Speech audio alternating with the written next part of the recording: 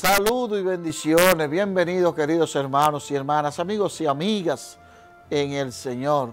Hoy en su programa Pastores con olor oveja, un contenido interesantísimo, pues vamos a hablar claro de este mes de octubre, que es el mes de las misiones, y vamos a ver el documento de la Jornada Mundial de las Misiones, pero también vamos a hablar del, del Evangelio de esta semana. Igualmente haremos un recuento de todo ese acto hermoso que tuvieron los cursillistas y esa celebración hermosa presidida por nuestro arzobispo, Monseñor Francisco Soria Costa. Bienvenido a este su espacio, pastores, con olor a ovejas.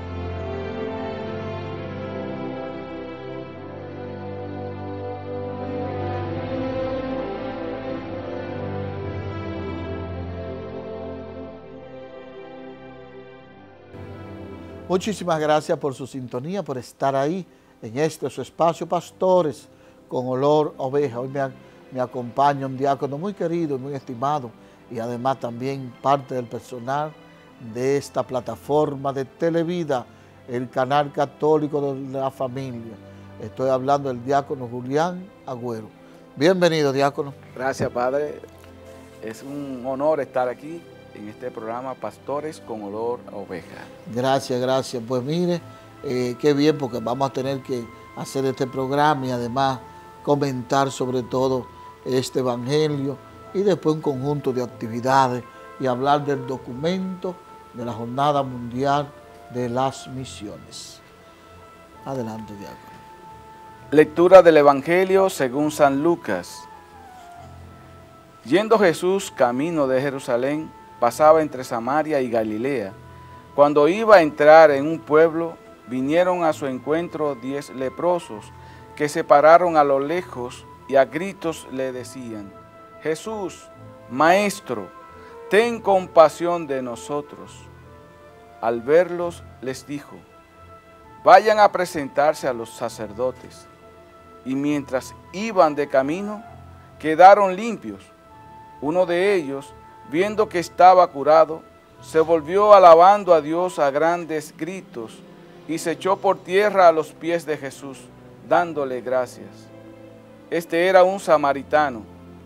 Jesús tomó la palabra y dijo, ¿no han quedado limpios los diez? Los otros nueve, ¿dónde están? ¿No ha vuelto más que este extranjero para dar gloria a Dios? Y le dijo, levántate, vete tu fe te ha salvado. Palabra del Señor. Gloria a ti, Señor Jesús. Tremendo evangelio que nos regala el Señor a través de la iglesia en esta semana. Ver el evangelio, escuchar este evangelio de los diez leprosos, que es todo, tiene un, todo un sentido catequético también del sentido de la gratuidad, del dar gracia al Señor. Y precisamente en esta semana hemos comenzado la fiesta de las témporas, o sea, el Día de Acción de Gracia que la iglesia celebra, porque la iglesia da gracia es una tradición muy buena y muy bonita, donde se recoge la cosecha y se daba gracia al Señor, y se da todavía gracia al Señor. Pero aunque las cosas han cambiado un poco, ya los países no viven solamente de la agricultura, sino ya han desarrollado y llegó la industria y llegó el hierro y más, adelante entonces estamos viviendo, estamos viendo sobre todo cómo República Dominicana se fortalece en el mundo del turismo. Pero no se puede olvidar la agricultura. Por eso el pueblo daba gracias por las primicias, los buenos frutos, la cosecha, la vendimia. Y precisamente en esta semana que hemos celebrado eso, ese tiempo de acción de gracia, ahora nos pone el Señor este evangelio de dar gracia. ¿Y en qué consiste este dar gracia? Sencillísimo. El maestro que iba de ciudad en ciudad, de pueblo en pueblo, de aldea en aldea, pues se encuentra con esos leprosos. Diez leprosos nada más y nada menos que fueron donde Jesús. Tengo que recordarte que la lepra era una sociedad la lepra era una enfermedad terrible. ¿Y por qué? Porque la lepra, el que tenía lepra en aquel tiempo, oye, tenía que retirarse del pueblo para no contagiar a los demás. Cuando iba al, al mercado, yo iba a decir supermercado, cuando iba al mercado, diácono, oye, tenía que ir hasta con una campanita diciendo, soy leproso, soy leproso. Imagínate tú los que estaban ahí, coge lo que sea, pero llévatelo y vete de aquí. Ay, santo Dios. Entonces, eh, más terrible que eso. Y aparte de eso, tenía que irse a la montaña, dejar su familia, dejar a los suyos, porque la lepra se contagiaba y eso era terrible. Y de verdad que, eh, pero cuando el Señor, ahí quiero entrar, diácono, cuando el Señor sana a los leprosos, le transforma la vida, porque ya pueden entrar a la ciudad, ya pueden compartir, ya pueden estar con su familia, ya pueden ir al mercado a comprar tranquilamente y también pueden hacer otras cosas. Pero de esos diez leprosos, solamente uno, uno se devolvió y dio gracias al Señor. Un solo tuvo el sentido de la gratuidad. Mira que la, gratitud es el, corazón realmente eh, de, de aquellos que saben recibir con amor. Y qué bueno cuando uno tiene un sentido de gratitud y agradece todo cuanto ha recibido. Por eso también nosotros, se ha agradecido, agradecido de la vida, de la salud, de la familia, de las cosas materiales, del trabajo. Cuidado con la ingratitud. Así es, Padre. Y la, verdad es que Jesús, en este texto, hace de relieve el, humanismo de Jesús, el corazón noble de, siempre de, querer ayudar, de asistir a la gente, de sanar a la gente. Siempre, siempre que las personas iban a la, en busca y buscando ayuda donde Jesús, recibían respuesta de amor. Y esa fue una de ellas. Pero lo, grande de esto, padres, que Jesús, cuando las, aquellas personas se acercaron, aquellos leprosos se acercaron a Jesús, sencillamente Jesús con amor lo, miró con, compasión. ¿Verdad que sí? Y le, le dio la sanidad eh, a cada uno de ellos, pero siempre como era la regla, enviándolo a presentarse donde los sacerdotes. Ay, muy interesante eso, porque el sacerdote era que confirmaba si estaba sano o no. Y siempre para el Señor importante esa obediencia y ese ir a las autoridades. Y fíjense que ellos cumplieron con esa obediencia de ir hacia, hacia presentarse del sacerdote. En el camino se fueron sanando, pero la realidad es que cuando somos poco agradecidos, eh, se recibimos el bien, pero no somos capaces de darle gracias a Jesús por, por lo que hemos recibido. Sin embargo, dice que uno se devolvió. Hoy nosotros tenemos que tener en conciencia que Jesús siempre se manifiesta y trabaja en nosotros. Aquí hablamos de la lepra que tenía aquella persona, pero ¿cuántos de nosotros tenemos lepra en el corazón? Y, Jesús eh, solamente con entrar a tu corazón sana todas esas enfermedades de tu vida, de tu casa, de tu familia. Y una vez que eso sucede, el mayor, la mayor respuesta nuestra, o la mejor respuesta es darle gracias a Dios, irse a presentar al sacerdote y darle gracias a Dios por todo lo que está haciendo y por lo que ha continuado haciendo en la vida de esos seres humanos. Hay una pregunta hoy buena, una pregunta profunda fundamental, una pregunta capicúa. ¿Cuál es tu lepra hoy? Santo ¿De qué quiere que el Señor te sane, te cure, te vende las heridas? ¿Cuál es realmente esas heridas y esa lepra de que quiere que el Señor te, sane? Los leprosos estaban incluso, se estaban cayendo a pedazos, estaban sufriendo. ¿Cuál es tu sufrimiento? ¿De qué sufre hoy? ¿Sufre por el matrimonio? sufre por los hijos, sufre por los, por los padres, está sufriendo realmente por la situación económica, está sufriendo por alguna enfermedad, un cáncer, una situación. ¿Cuál es realmente tu sufrimiento? Hoy preséntale al Señor esa lepra que tiene, porque al final y al, y al cabo todos somos leprosos.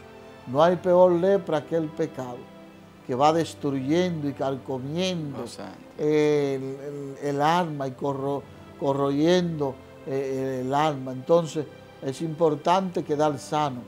Pídele al Señor esa salud espiritual, corporal.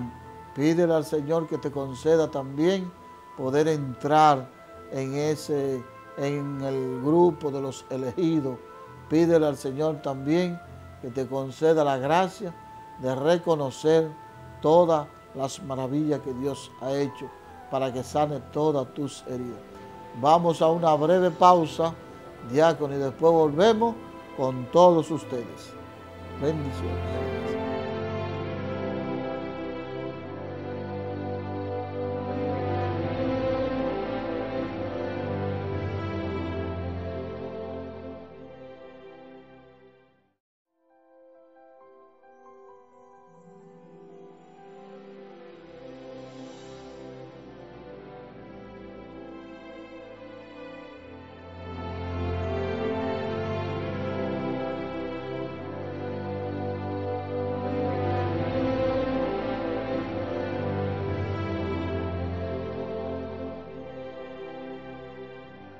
Muchísimas gracias por su sintonía, muchísimas gracias por estar ahí en su espacio Pastores con olor a ovejas. Estamos en el mes de octubre, que es el mes de las misiones, y en este mes de las misiones, pues mira, hay un documento especial que el Santo Padre ha emitido y ha comentado incluso con respecto a la infancia misionera y también en el entorno, en el contexto de la Jornada Mundial de las misiones. Y el Santo Padre nos habla ahí de la importancia de las misiones y también de la importancia de ser eh, misionero. Todo bautizado está llamado a ser misionero. Y además un misionero no va en nombre suyo, no va en nombre propio, sino en nombre de. ¿Verdad que sí? Así es, Padre. Va en nombre de la iglesia. Eh, algo que quería comentarle antes de tratar sobre este tema de la jornada de las misiones. Eh, lo importante de, la lectura que, nosotros leímos es que las personas, hoy en día, las personas buscan sanidad, pero no van donde quien lo puede ayudar. En este caso, los días leprosos tomaron la conciencia de ir a donde quien podía sanar lo que era Jesús. Hoy en día hay personas que van a donde los brujos, van a donde los curiosos, buscando respuesta de sanidad creo que esta lectura hoy nos invita a que confiemos y creamos y que Jesús sea la base de nuestras vidas, el fundamento para caminar en la verdad. Sobre todo sabiendo que Jesús no se quedó estacionado en la historia, sino que camina con nosotros, actuando en nosotros, sanando, liberando y rompiendo las cadenas. Así mismo, diácono, rompiendo las cadenas. Hay algo importante que dice el Santo Padre Francisco la misión confiada a los discípulos tiene ya un carácter universal. Desde Jerusalén se extiende hasta los confines de la tierra. Y eso el Papa Francisco hace una aclaración. No son enviados a hacer proselitismo, sino a anunciar el cristianismo. No se hace desde el proselitismo. Son la imagen de la iglesia en salida a causa de la persecución en Jerusalén. Los primeros cristianos se dispensaron y anunciaron a Cristo por todas partes, señala el Papa y continúa. Algo parecido sucede también en nuestro tiempo a causa de la persecución religiosa y situaciones de guerra y violencia. Muchos cristianos se han visto obligados a huir de su tierra hacia otros países. Estamos agradecidos con estos hermanos y hermanas que no se cierran al sufrimiento, sino que dan testimonio de Cristo y del amor de Dios en los países que lo acogen.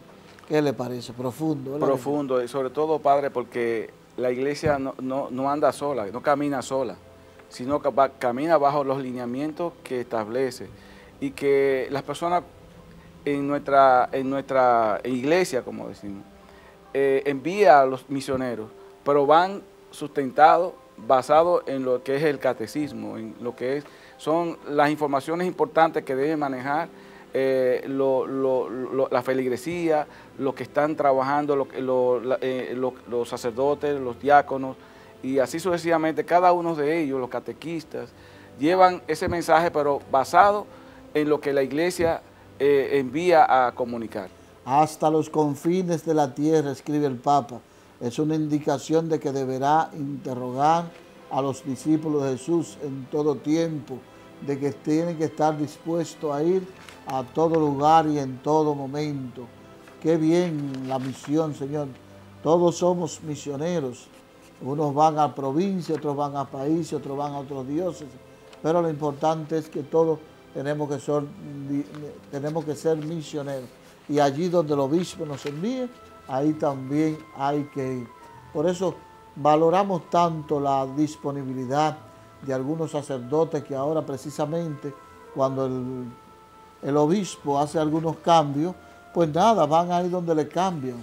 Qué desagradable cuando un sacerdote comienza a, estar inconforme porque le envían a un o a otro lugar para que vayan.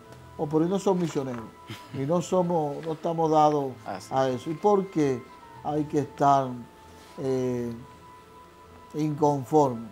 Por eso recibirán la fuerza del Espíritu Santo, dice el Papa, porque ellos son los que eh, reciben la gracia, eh, la gracia infinita de Dios, solamente con la disponibilidad. Ya el Señor hace lo demás. Así es, Padre, y que cuando uno es, es ordenado, cuando te llama por tu nombre, uno responde, aquí estoy, Señor. Entonces, ese aquí estoy es a donde el Señor quiera que nosotros estemos, hacia donde, a donde el Señor quiere que nosotros vayamos a llevar la buena nueva, con amor, con entrega, con decisión, pero sobre todo eh, con, anhelo de llevar un mensaje de salvación verdadero a, aquellos que le escuchan. Claro que sí, dice también el Papa, ante una responsabilidad tan grande del anuncio del Evangelio, Jesús también promete a sus seguidores la gracia para triunfar. El Espíritu Santo vendrá sobre ustedes y recibirán sus fuerza, su fuerza y el Espíritu, ningún cristiano podrá dar pleno testimonio de Cristo sin el Espíritu. Por eso todo discípulo misionero de Cristo está llamado a reconocer la importancia fundamental de la acción del Espíritu, a vivir con Él en lo cotidiano y recibir constantemente su fuerza e inspiración.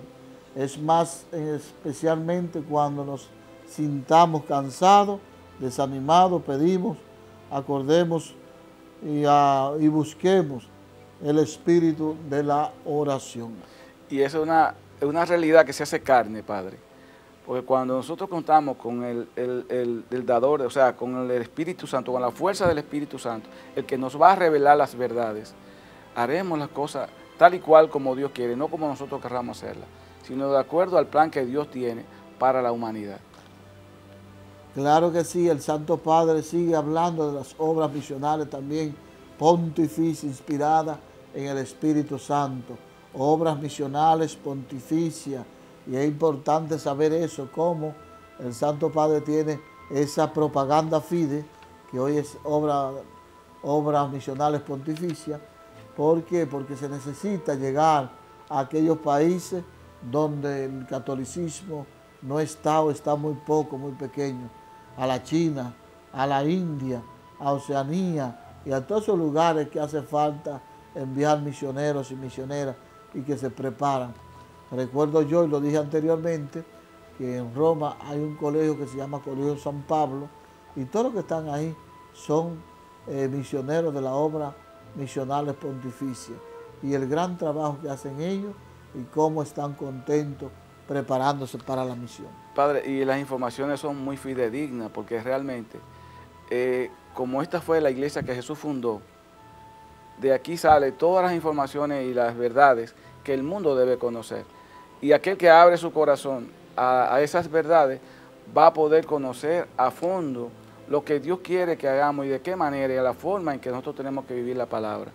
Y ella nos va a conducir. Entonces, todo, este, todas estas obras de misiones que se, que se están eh, proyectando hacer y que se están haciendo, van en, procura de que el ser humano, la gente que no conoce a Dios se acerque, pero con un corazón sano, limpio y entregado. Aún en condiciones precarias, dice el Papa, eh, hay que escoger esa inspiración de Dios para ponernos en movimiento, una red de oración, una oración y, también la gracia para poder seguir avanzando en las misiones y en la celebración. Oye, me viene a la mente, diácono, un conjunto de, misioneros y misioneras que llegaron a nuestro país cuando llegaron los españoles. Vinieron ahí, eh, claro está, los franciscanos, claro está, los mercedarios, los jesuitas, los dominicos, las tres grandes órdenes misioneras que llegaron a nuestra isla en aquel tiempo, cuando vinieron los españoles aquí. Y desde ahí en adelante esas congregaciones siguen evangelizando, siguen dando misioneros y siguen también eh, eh, instalando, construyendo y edificando para nuestra nación. De verdad que los misioneros siempre han estado ahí y la iglesia es netamente misionera. Y eh, ese, trayecto, Dios pone, uno piensa, uno ve cuánto amor tiene Dios para, para nuestro, nuestro, nuestro mundo, nuestro país, para todos los países del mundo, porque puso la necesidad de algo para que el, mensaje de salvación llegara a cada, a cada pueblo, para que nadie tenga la excusa de decir yo no conocía a Cristo. Y a través de nuestra iglesia, a través de, esos misioneros que vinieron a nuestro país, a nuestro nuevo mundo, pues eh, la proyección de la palabra fue caminando, fue calando, fue llegando a cada corazón. Y hoy conocemos de ellos por, e, ese desprendimiento de, de todas esas personas que vinieron con amor a llevar un mensaje que, que fueron y hasta hoy lo que han custodiado la verdad de Cristo en el, en el caminar. Claro, y el Papa Francisco habla también de que esas obras misionales, hace 150 años se fundó la actual Pontificia Unión Misional y espera que las iglesias locales puedan encontrar una ayuda válida en, esta, en estas obras para alimentar el espíritu misionero que el pueblo de Dios eh, tiene ahí siempre en su corazón. Concluyó el Papa también diciendo que María como reina de las misiones les ayude. Queridos hermanos y hermanas, sigo soñando con una iglesia totalmente misionera, una nueva estación de acción misionera en las comunidades cristianas. Y repito el deseo de Moisés para el pueblo de Dios en camino. Ojalá todo el pueblo de Dios profetizara. Sí, ojalá todos nosotros fuéramos en la iglesia lo que ya somos en virtud del bautismo. Profetas, testigos y misioneros en el Señor. Con la confianza del Espíritu Santo y hasta los confines de la tierra. María, Reina de las Misiones, ruega por nosotros. A mí me sorprende como el mismo Papa escribe, sigue, sigue soñando con una iglesia netamente misionera y que cuando se apaga la misión, cuando la misión no está, comienza a estancarse, a estancarse eh, los fieles. Por eso hay algunos movimientos y algunos carismas de la iglesia, comunidades que se han estancado, se han quedado en su zona de confort y después ya no avanzan, no crecen ya se ven pesados, eh, se, va perdiendo la, frescura de la evangelización y entonces ya no es lo mismo. Y no, y que eh, eso pasa, y eso, si, si, eso pasa, no hay relevo, no hay, no hay cambios, no hay, y la gente a medida que va muriendo va desapareciendo lo que ya se ha fundamentado. Por ende, yo creo que estas palabras que hoy el Papa nos, nos, nos refresca aquí, nos ayuda a que, hay que misionar y hay que utilizar a nuestra Madre María, porque fue la, primera que eh, eh, ayudó a los discípulos y a todos los, a todos los que estaban con, en esa época a, conocer y a llevar el mensaje de salvación de, su Hijo. Hoy por igual, nuestra Madre sigue actuando y asistiendo a todos los a todos misioneros que van llevando ese mensaje, porque ella fue misionera. Bueno, pues entonces desde aquí pedirle que esa misión nunca deje de existir, esa misión de las congregaciones, de, la iglesia en general, de los carismas, eso es lo que da vida y frescura, enviar de las misiones. Y ojalá que esas congregaciones también estén continuamente en un sentido misionero. Vamos a una breve pausa y después retornamos con todos ustedes en su espacio, Pastores con olor ovejas.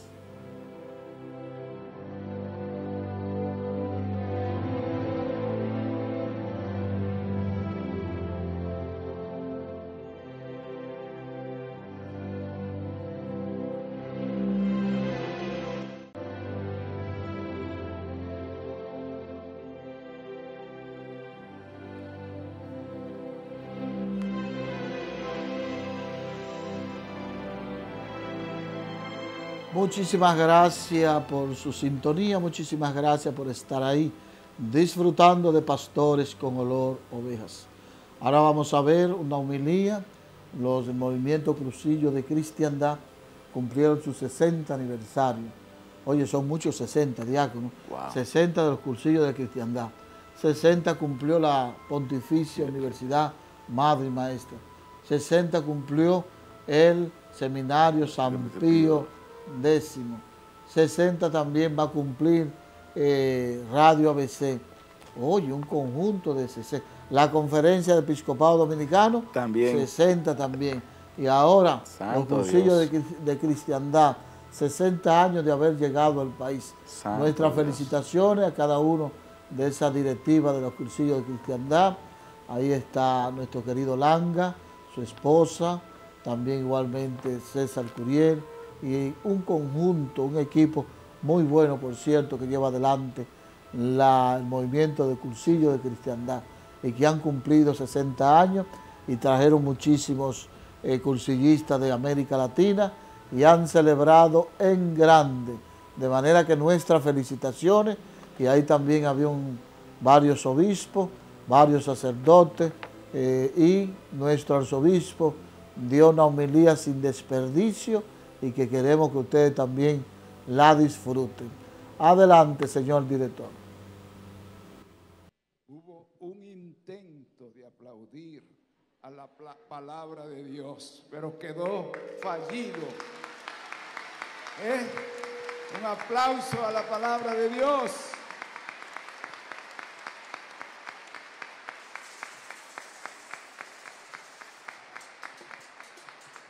Así sí. Muy bien. Es que no estaba previsto aplaudir. Si hubiera sido el presidente José Grullón, eh, ahí salía. ¿Eh?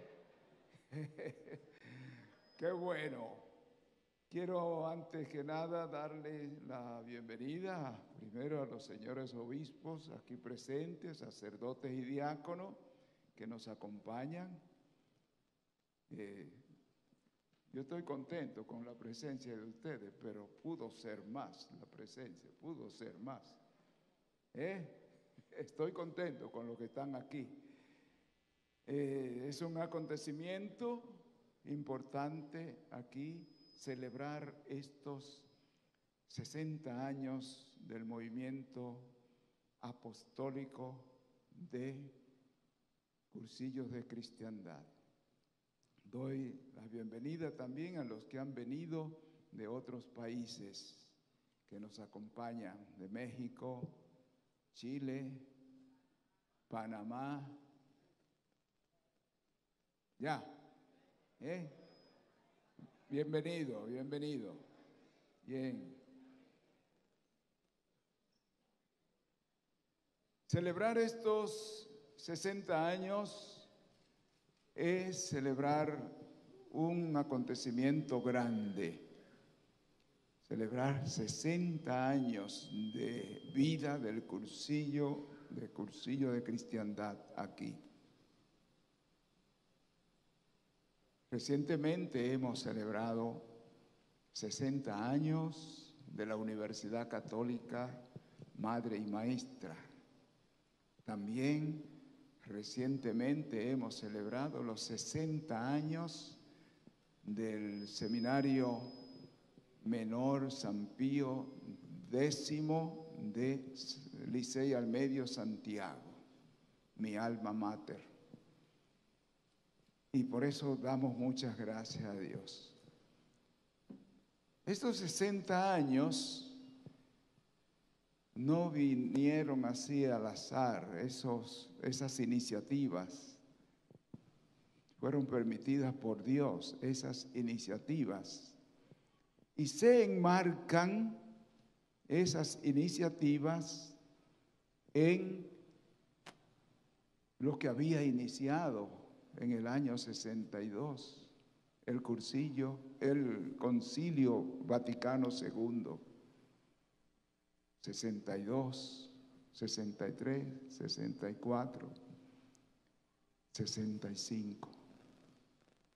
Concilio Vaticano II. En ese tiempo la iglesia se estaba reanimando, la iglesia se estaba despertando.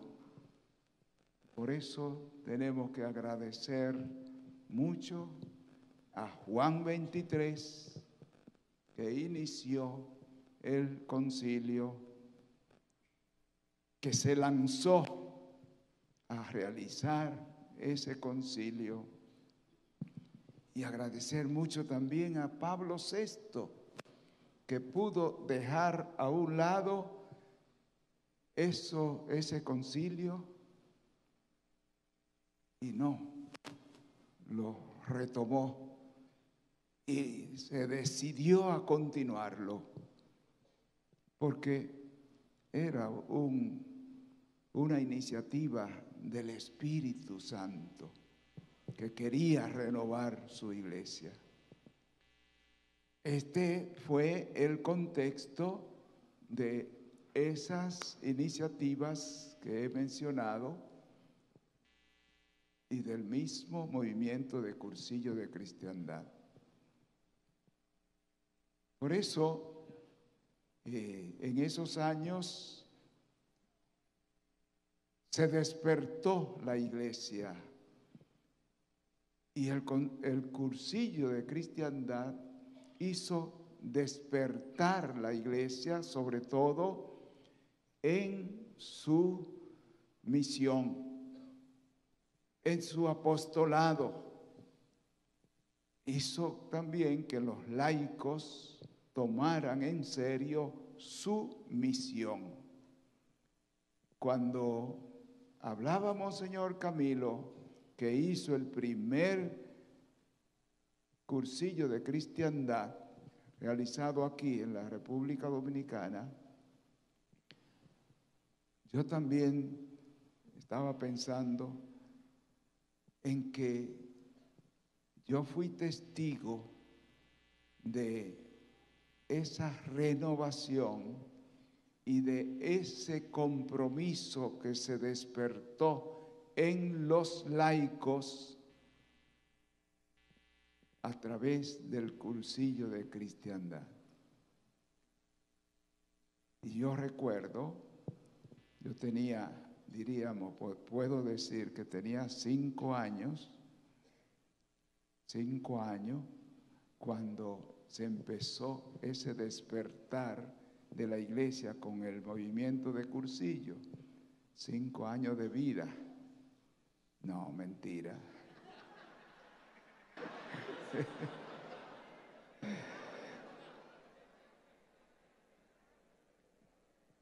es que yo entré al seminario, he cumplido apenas 55 años que entré al seminario y yo empiezo a contar desde ahí.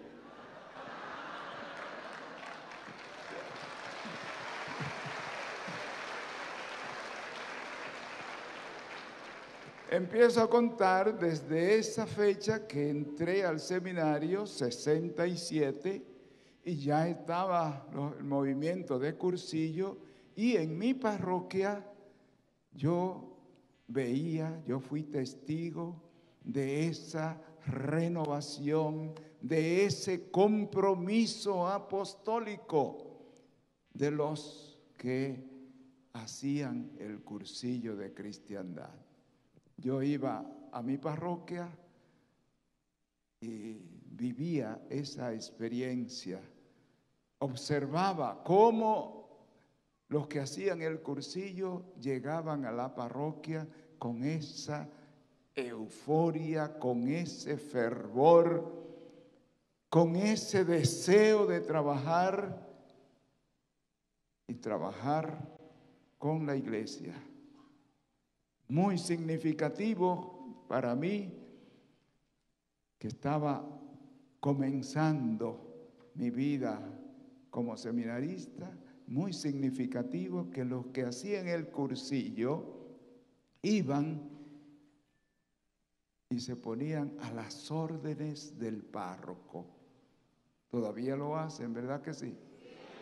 se ponían a las órdenes del párroco para que el párroco lo enviara, para que el párroco lo utilizara en la misión de la parroquia. Muy significativo. Todas esas son experiencias que yo viví recién entrado al seminario. Yo pensaba cuando hablaba Camilo, ¿y quién me iba a decir a mí que yo iba a celebrar como arzobispo de Santo Domingo los 60 años de esa vida, de esa vivencia? Pues aquí estamos recordando. Recordar es vivir. Y cuando ustedes recuerdan esa experiencia de esos tres días de vivencia, de experiencia espiritual, pues seguro que ahora también lo viven. Y si no lo viven, entonces lo van a vivir después de hoy. ¿Eh? Que es lo mismo que decir, si dejaron atrás, si no han vivido el cuarto día, pues ahora después de esta estrella lo van a vivir, ¿verdad que sí? El cuarto día.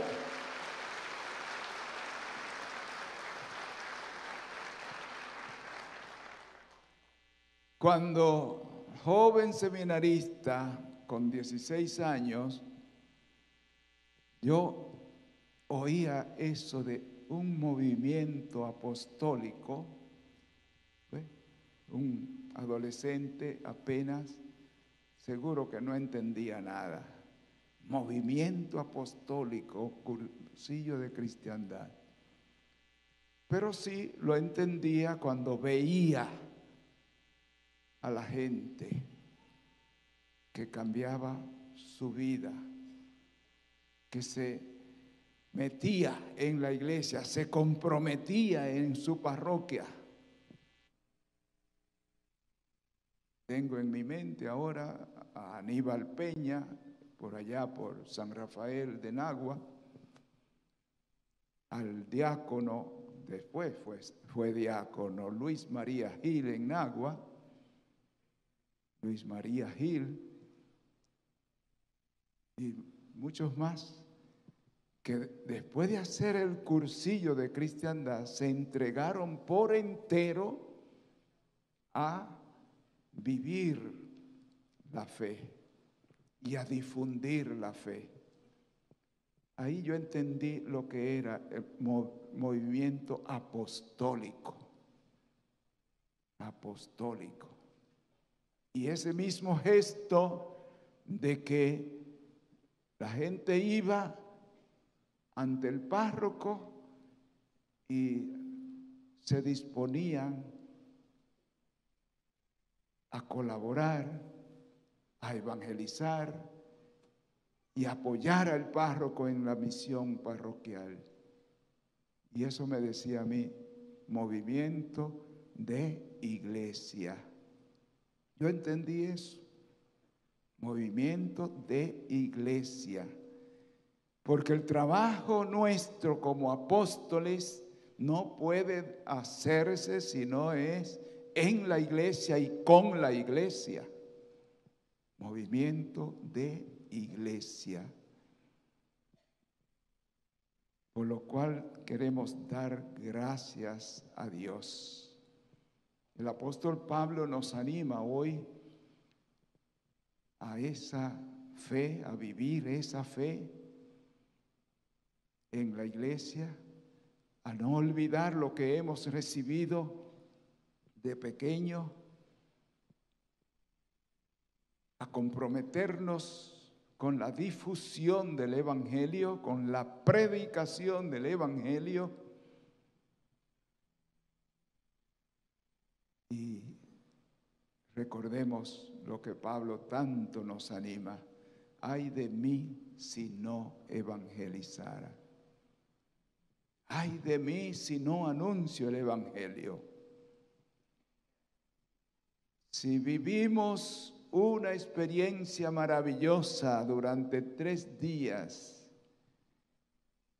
y eso queda en el pasado y no me decido en un compromiso con la iglesia y no persevero en la gracia de Dios y en la misión de la iglesia, ¿para qué sirven? Ay de mí si no evangelizare, si no anuncio el evangelio. El apóstol Pablo nos anima una vez más a ser evangelizadores, a llevar el Evangelio a todas partes, principalmente a los lugares más alejados y a las personas más alejadas.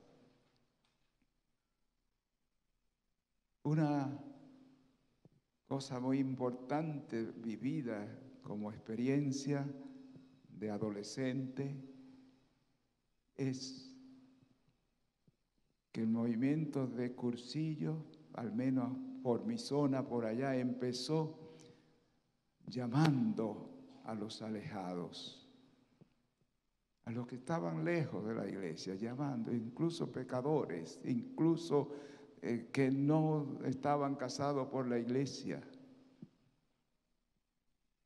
Y a partir de ahí se convertían, se convertían en cristianos y se confesaban y se casaban. Esa experiencia la viví yo. Por eso me chocaba mucho que recientemente, algunos añitos atrás, eh, habían alguna tendencia como que para hacer el cursillo había que estar en gracia de Dios había que estar casado, había que estar cerca de la iglesia. originalmente esa fue una estrategia de invitar a los que estaban alejados, porque el cursillo de cristiandad era un momento fuerte en que se encontraban con el Señor y ante el encuentro con el Señor no podían quedar tranquilos, no se podían quedar quietos, sino que había que vivir la gracia y había que anunciarlo. Esa fue experiencia que yo vi en, en esos años 60 del movimiento de cursillo de cristiandad. Quisiera motivarle a todos ustedes para que vuelvan a eso, para que vuelvan al origen, a ese fervor y a ese compromiso que le marcó esos tres días. Y por supuesto, a vivir el cuarto día. Última idea. Nosotros estamos invitados por el Señor a anunciar el Evangelio. Él quiere nuestro compromiso cristiano, nuestro compromiso con la evangelización.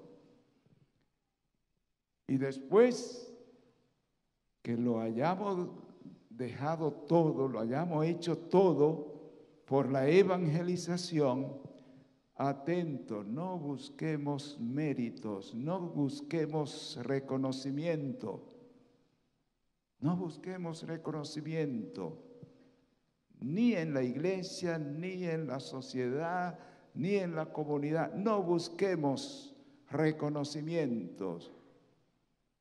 Después que hayamos entregado la vida en la evangelización, no busquemos reconocimientos. Porque dice el Señor, siervos inútiles somos. Hemos hecho lo que teníamos que hacer. Es nada más eso.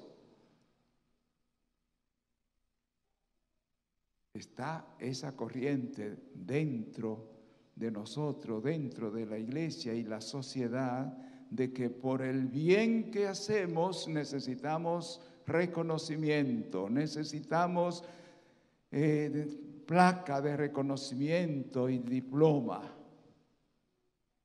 Siervos inútiles somos, hemos hecho lo que teníamos que hacer.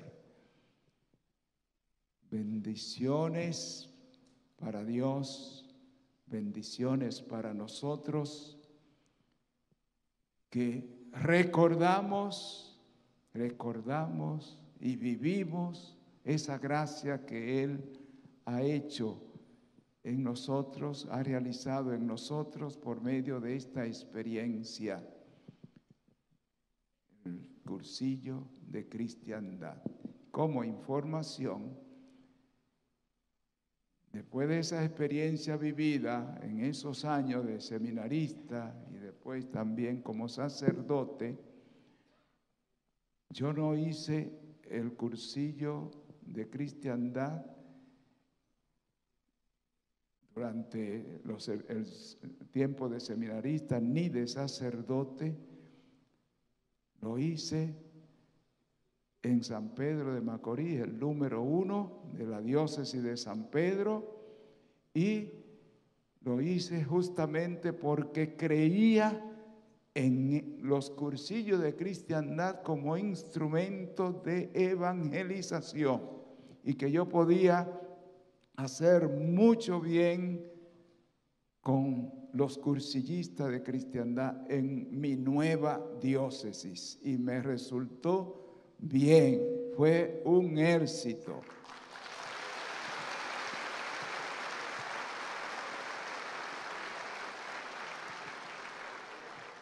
Aquí hay algunos, por lo menos creo que vi a Pedro Bastardo, que hizo, que fue de los dirigentes de ese cursillo número uno allá.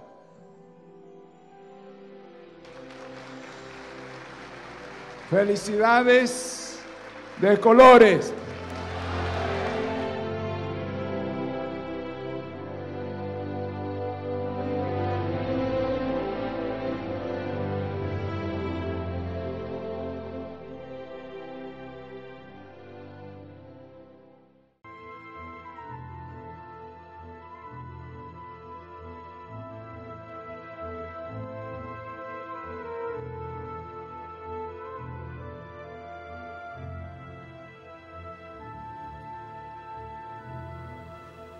Muchísimas gracias por su sintonía. Hemos llegado a este último bloque, este último bloque de la vida de la iglesia, las actividades de nuestro obispo, de nuestro arzobispo, los obispos auxiliares y también de toda nuestra iglesia.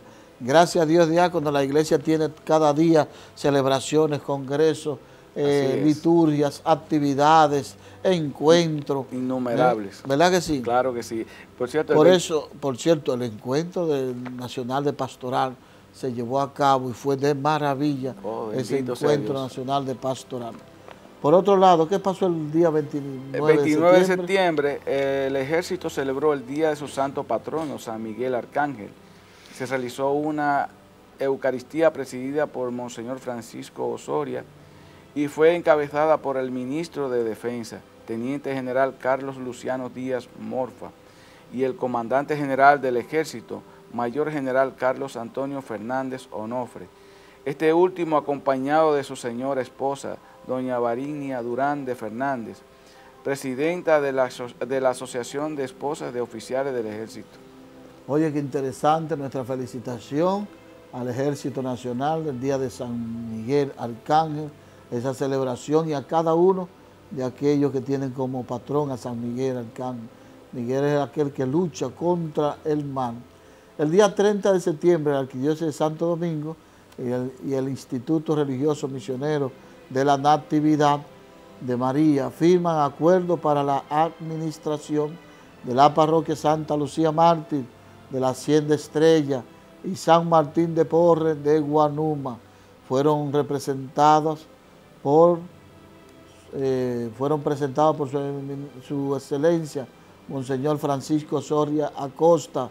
Ahí están los sacerdotes que vinieron de México para asumir esas parroquias y ser esa parte misionera. Ahí están también firmando ese acuerdo para servir adelante. El padre Luis Geraldo Sánchez Ponce, superior general de dicho Instituto Misionero de la Natividad de María. Bienvenido a esos misioneros. Todos esos misioneros que vienen a evangelizar, bienvenidos. Y hoy viene con un mensaje siempre novedoso y de, pero sobre todo centrado en Cristo Jesús. Esperemos, diácono. El, el, día primero de octubre, desfile mariano desde la ciudad de Nueva York, un gran desfile, padre, maravilloso, hermoso. ¿Verdad que sí, señores? Eh, realmente... ese desfile se llevó a cabo, es verdad que estaba lloviendo, fue un día de mucha lluvia, pero miren ahí en la ciudad de Nueva York, nosotros mandamos a nuestro corresponsal, Giovanni Krawinkel, y ahí tuvo también Altagracia, que es que está organizando ese desfile. Ahí va la procesión de Nuestra Señora de la Altagracia. Pero recuerden que es desfile mariano. Ahí va el de Guadalupe. Y cada virgencita tiene su, eh, cada país tiene su patrona, tiene su patrona. Eh, el de nosotros iba ahí, la Virgen de la Altagracia. Lo vi como con un, con bajante eh, no tan digno, el próximo día le presto un cuadro.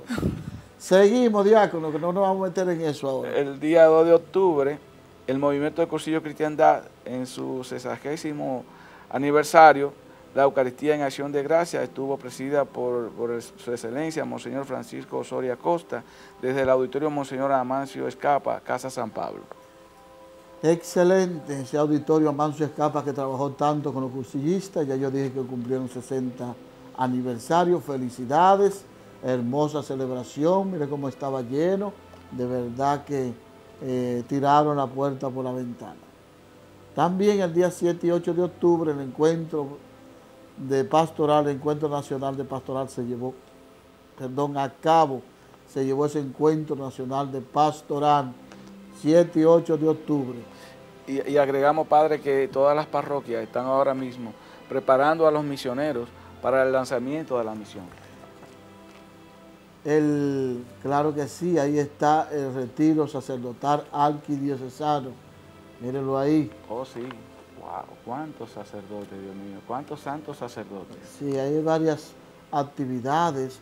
Eso es el encuentro nacional de pastoral del año pasado que se hizo en la casa de convivencia María de la Alta Gracia el retiro sacerdotal arquidiocesano del 9 al 14, que viene por ahí, diácono.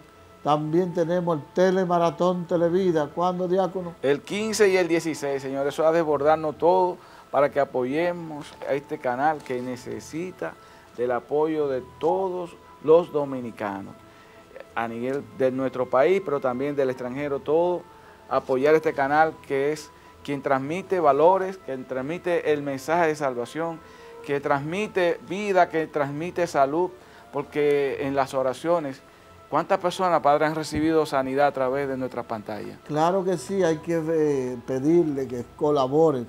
Apoyar los medios de comunicación es orar por ellos, pero también, también participar, como puede participar en el telemaratón, colaborar con nuestros medios. Usted no sabe cuánto cuesta mantener un medio de pie. Y la Iglesia Católica tenemos la gracia de tener varios medios, pero qué importante.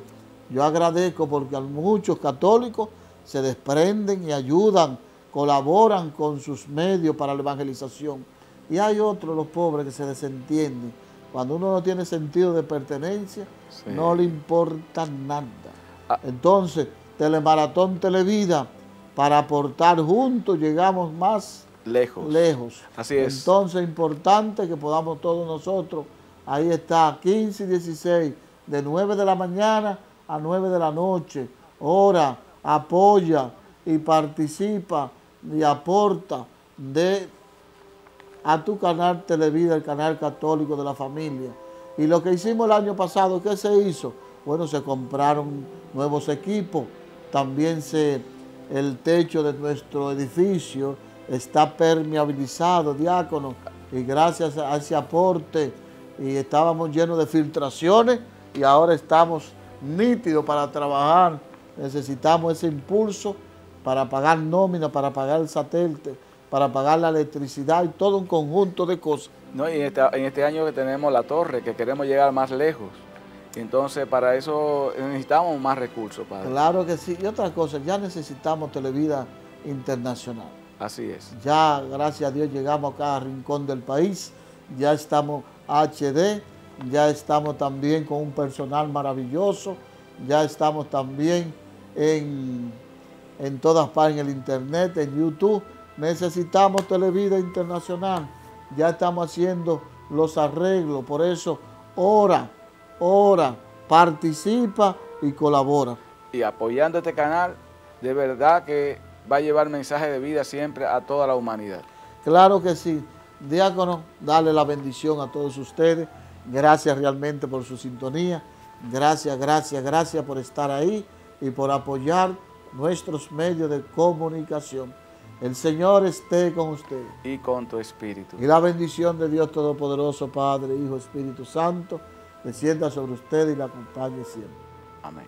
Bendiciones, hasta la próxima. Dios le bendiga.